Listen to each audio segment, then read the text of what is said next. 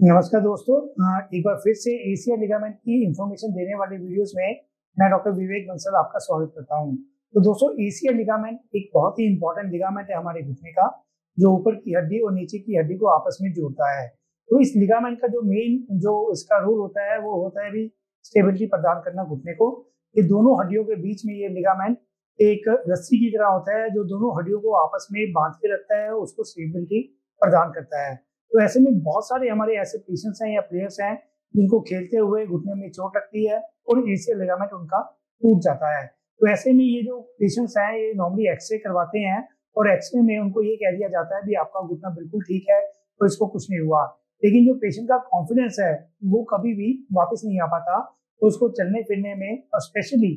भागने में थोड़ी दिक्कत महसूस होती है। तो ऐसे में जब भी पेशेंट्स एमआरआई करवाते हैं तो उनको पता चलता है भी उनका एशिया जो लिगामेंट है, वो टूट गया है और उसी के कारण इनको ये दिक्कत महसूस हो रही है। तो बहुत सारे पेशेंट्स हमारे यूट्यूब चैनल देखने के बाद हमें कॉन्टेक्ट करते हैं और फिर हमारे पास आते हैं और फिर उनको हम सही से गाइड करके इस बीमारी के बारे में या इस लिगामेंट के बारे में बताते हैं। तो ऐसे ही हमारे साथ फाइटर मौजूद है देवेंद्र सिंह जी जो हरियाणा से रहने वाले हैं। जिनका एशिया लिगामेंट उस समय पहले टूट गया था, करीब दो महीने पहले ये हमारे कॉन्टेक्ट में आए। हमने इनका एशिया लिगामेंट बनाया और आज ये अच्छा महसूस कर रहे हैं। तो चलिए जानते हैं इनकी स्टोरी इनको चोट कैसे लगी और इनको बेसिकली हमारे कॉन्टेक्ट में कैसे आए ਸੋ ਨਮਸਕਾਰ ਜੀ ਰਵਿੰਦਰ ਸਿੰਘ ਜੀ ਹਾਂ ਸਤਿ ਸ਼੍ਰੀ ਅਕਾਲ ਤੋਂ ਸਭ ਤੋਂ ਪਹਿਲਾਂ ਤੁਸੀਂ ਸਾਨੂੰ ਦੱਸੋ ਵੀ ਤੁਹਾਡੇ ਸੱਟ ਕਿੱਦਾਂ ਵੱਜੀ ਤੇ ਤੁਹਾਨੂੰ ਕੀ ਕੀ ਦਿੱਕਤਾਂ ਦਾ ਮਤਲਬ ਸਾਹਮਣਾ ਕਰਨਾ ਪਿਆ ਸਰ ਅੱਜ ਤੋਂ ਕਰੀਬਨ ਕਰੀਬਨ 8-10 ਸਾਲ ਪਹਿਲਾਂ ਮੈਂ ਫੁੱਟਬਾਲ ਖੇਡਦਾ ਸੀ ਤੇ ਉੱਥੇ ਗਰਾਊਂਡ 'ਚ ਇੰਜਰੀ ਹੋਈ ਸੀ ਮੇਰੇ ਤੇ ਉਸ ਤੋਂ ਬਾਅਦ 'ਚ ਉੱਥੇ ਲੋਕਲ ਮੈਂ ਇਲਾਜ ਕਰਵਾਉਂਦਾ ਰਿਹਾ ਤੇ ਉੱਥੇ ਲੋਕਲ ਇਲਾਜ ਕਰਵਾਉਂਦਾ ਰਿਹਾ ਤੇ ਕੋਈ ਜ਼ਿਆਦਾ ਬੈਨੀਫਿਟ ਨਹੀਂ ਹੋਇਆ। ਹੁਣ ਕਰੀਬ 2-3 ਮਹੀਨੇ ਪਹਿਲਾਂ ਜ਼ਿਆਦਾ ਦਿੱਕਤ ਆਉਣ ਲੱਗ ਗਈ ਮੇਰੇ ਗੋਡੇ ਦੇ ਵਿੱਚ ਤੇ ਫਿਰ ਅਸੀਂ ਉੱਥੇ ਲੋਕਲ ਡਾਕਟਰ ਨੂੰ ਦਿਖਾਇਆ ਤੇ ਉਹਨਾਂ ਨੇ ਐਮ ਆਰ ਆਈ ਵਗੈਰਾ ਕੀਤੀ ਤੇ ਫਿਰ ਪਤਾ ਲੱਗਿਆ ਕਿ ਲਿਗਾਮੈਂਟ ਟੁੱਟ ਗਿਆ ਮੇਰਾ ਬਟ ਉੱਥੇ ਆਪਰੇਟ ਕਰਨ ਵਾਲਾ ਕੋਈ ਸਾਨੂੰ ਮਿਲਿਆ ਨਹੀਂ। ਹਾਂ ਸੋ ਤੁਸੀਂ ਜਿਸ ਤਰ੍ਹਾਂ ਕਹਿ ਰਹੇ ਹੋ ਵੀ ਆਲਮੋਸਟ 8 ਤੋਂ 10 ਸਾਲਾਂ ਤੋਂ ਤੁਸੀਂ ਮਤਲਬ ਕੰਮ ਇਦਾਂ ਹੀ ਚਲਾ ਰਹੇ ਸੀਗੇ? ਹਾਂਜੀ ਉਦੋਂ ਥੋੜੀ ਪ੍ਰੋਬਲਮ ਸੀ ਹੁਣ ਜ਼ਿਆਦਾ ਪ੍ਰੋਬਲਮ ਆਉਣ ਲੱਗ ਗਈ ਸੀ 3 ਮਹੀਨੇ। ਤਾਂ ਫਿਰ ਤੁਸੀਂ ਦਵਿੰਦਰ ਸਿੰਘ ਜੀ ਵੀ ਸਾਡੇ ਬਾਰੇ ਤੁਹਾਨੂੰ ਕਿਹਨਾਂ ਨੇ ਦੱਸਿਆ ਜਦੋਂ ਅਸੀਂ ਉੱਥੇ ਕਾਫੀ ਡਾਕਟਰਸ ਤੋਂ ਪਤਾ ਕੀਤਾ ਕੋਈ ਇਲਾਜ ਨਹੀਂ ਮਿਲਿਆ ਇਹਦਾ ਜੀ ਤੇ ਫਿਰ ਇੱਕ ਮੇਰੇ ਬ੍ਰਦਰ ਆ ਉਹ ਵੀ ਡਾਕਟਰੀ ਲਾਈਨ 'ਚ ਆ ਉਹਨਾਂ ਨੇ ਫਿਰ ਇਧਰ ਉਧਰ ਪਤਾ ਕਰਕੇ ਸਾਨੂੰ ਦੱਸਿਆ ਕਿ ਤੁਸੀਂ ਡਾਕਟਰ ਵਿਵੇਕ ਬਾਂਸਲ ਜੀ ਨੂੰ ਮਿਲੋ ਬਠਿੰਡਾ ਤੇ ਉਹ ਤੁਹਾਨੂੰ ਸਹੀ ਗਾਈਡ ਕਰਨਗੇ ਫਿਰ ਅਸੀਂ ਤੁਹਾਨੂੰ ਇੱਥੇ ਆ ਕੇ ਮਿਲੇ ਜੀ सो दोस्तों मोस्ट ऑफ द टाइम क्या होता है जो एसीएल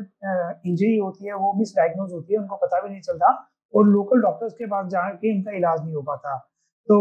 ਹੁਣ ਤੁਹਾਡੇ ਜਿਹੜੇ ਆਪਰੇਸ਼ਨ ਨੂੰ ਆਲਮੋਸਟ 2 ਤੋਂ 2.5 ਮਹੀਨੇ ਹੋ ਗਏ ਨੇ ਤਾਂ ਹੁਣ ਤੁਸੀਂ ਦੱਸੋ ਵੀ ਪਹਿਲਾਂ ਤੋਂ ਹੁਣ ਤੁਸੀਂ ਕਿੱਦਾਂ ਦਾ ਮਹਿਸੂਸ ਕਰ ਰਹੇ ਹੋ? ਨਹੀਂ ਹੁਣ ਮੈਂ ਕਾਫੀ ਬੈਟਰ ਹਾਂ ਜੀ ਕਾਫੀ ਵਧੀਆ ਰਿਕਵਰੀ ਹੋ ਗਈ ਹੈ ਜੀ ਹੁਣ ਮੈਂ ਚੱਲ ਫਿਰ ਸਕਦਾ ਵਧੀਆ ਸੋ ਬਹੁਤ ਸਾਰੇ ਇਹ ਜੀ ਪੇਸ਼ੈਂਟ ਨੇ ਜਿਵੇਂ ਕਿ ਜਿਹੜੇ ਆਪਣੇ ਘਰੇ ਬੈਠੇ ਨੇ ਜਿਸ ਤਰ੍ਹਾਂ ਤੁਸੀਂ ਵੀ 8-10 ਸਾਲਾਂ ਤੋਂ ਬੈਠੇ ਸੀਗੇ ਵੀ ਤੁਸੀਂ ਆਪਣਾ ਇਲਾਜ ਨਹੀਂ ਕਰਾ ਪਾ ਰਹੇ ਸੀਗੇ। ਸੋ ਹੁਣ ਇਮੀਡੀਏਟਲੀ 2 ਮਹੀਨੇ ਹੋ ਗਏ ਨੇ ਤੁਸੀਂ ਕਹਿ ਰਹੇ ਹੋ ਕਿ ਤੁਹਾਨੂੰ ਰਿਕਵਰੀ ਦਾ ਥੋੜਾ ਥੋੜਾ ਪਤਾ ਚੱਲਦਾ ਪਿਆ ਹੈ ਤੁਹਾਡਾ ਨੀ ਸਟੇਬਲ ਹੈ ਤੁਸੀਂ ਠੀਕ ਹੋ। ਸੋ ਇਸ ਤਰ੍ਹਾਂ ਦੇ ਪੇਸ਼ੈਂਟ ਨੂੰ ਤੁਸੀਂ ਕੀ ਮੈਸੇਜ ਦੇਣਾ ਚਾਹੋਗੇ? ਮੈਂ ਇਹੀ ਮੈਸੇਜ ਦੇਣਾ ਚਾਹੂੰਗਾ ਤੁਸੀਂ ਜੇ ਕਿਸੇ ਨੂੰ ਵੀ ਲੀਗਾਮੈਂਟ ਜਾਂ ਘੁਟਨੇ ਦੀ ਕੋਈ ਵੀ ਪ੍ਰੋਬਲਮ ਹੈ ਇੱਕ ਵਾਰ ਡਾਕਟਰ ਵਿਵੇਕ ਬਾਂਸਲ ਜੀ ਨੂੰ ਜ਼ਰੂਰ ਮਿਲੋ ਤਾਂ ਕਿ ਸਹੀ ਉਹ ਗਾਈਡ ਦੇ ਸਕਣ ਤੇ ਸਹੀ ਤੁਹਾਡੀ ਰੂਟੀਨ ਲਾਈਫ ਵਧੀਆ ਚੱਲ ਸਕੇ। ਹਾਂ ਸੋ ਇੱਕ ਆਖਰੀ ਸਵਾਲ ਤੁਹਾਡੇ ਤੋਂ ਦਵਿੰਦਰ ਜੀ ਇਹ ਪੁੱਛਣਾ ਚਾਹੂੰਗਾ ਵੀ ਤੁਸੀਂ ਜਿਸ ਤਰ੍ਹਾਂ ਸਾਡੇ ਹਸਪੀਟਲ ਦੇ ਵਿੱਚ ਜਾਂ ਸਾਡੇ ਸਟਾਫ ਦੇ ਬਾਰੇ ਕੀ ਫੀਡਬੈਕ ਦੇਣਾ ਚਾਹੋਗੇ ਵੀ ਤੁਹਾਨੂੰ ਘਰ ਵਰਗਾ ਮਾਹੌਲ ਮਿਲਿਆ ਜਾਂ ਕੀ ਤੁਹਾਡੀ ਪ੍ਰਕਿਰਿਆ ਉਹਦੇ ਬਾਰੇ? ਮੈਂ ਇਹੀ ਕਹਿਣਾ ਚਾਹੂੰਗਾ ਜਿਵੇਂ ਦਾ ਇੱਥੇ ਸਾਨੂੰ ਸੰਭਾਲਿਆ ਗਿਆ ਇੱਥੇ ਆਉਣ ਤੋਂ ਬਾਅਦ ਚ ਉਹ ਬਹੁਤ ਵਧੀਆ ਮੈਂ ਸ਼ਾਇਦ ਕਾਫੀ ਹਸਪੀਟਲਾਂ 'ਚ ਇਧਰ ਉਧਰ ਗਿਆ ਕਿਤੇ ਵੀ ਇਦਾਂ ਦਾ ਸਟਾਫ ਨਹੀਂ ਜਿੱਦਾਂ ਦਾ ਤੁਹਾਡੇ ਇੱਥੇ ਸਾਨੂੰ ਰਹਿਣ ਲਈ ਕਰਨ ਲਈ ਸਾਰਾ ਕੁਝ ਖਾਣ ਪੀਣ ਲਈ ਵੀ ਇੱਥੇ ਸਾਰਾ ਕੁਝ ਵਧੀਆ ਸੀ। ਤੋਂ ਬਹੁਤ ਬਹੁਤ ਸ਼ੁਕਰੀਆ ਤੁਹਾਡਾ ਦਵਿੰਦਰ ਸਿੰਘ ਜੀ ਤੁਸੀਂ ਸਾਨੂੰ ਮੌਕਾ ਦਿੱਤਾ ਇਹ ਵੀਡੀਓ ਬਣਾਉਣ ਦਾ ਤੇ ਅਸੀਂ ਇਹੀ ਅਰਦਾਸ ਕਰਦੇ ਹਾਂ ਵੀ ਬਹੁਤ ਜਲਦੀ ਜਲਦੀ ਤੁਸੀਂ ਰਿਕਵਰੀ ਕਰੋ ਤੇ ਜਲਦੀ ਤੋਂ ਜਲਦੀ ਬੈਕ ਟੂ ਲਾਈਫ ਆ ਜਾਓ। ਸਤਿ ਸ਼੍ਰੀ ਅਕਾਲ ਸਤਿ ਸ਼੍ਰੀ ਅਕਾਲ।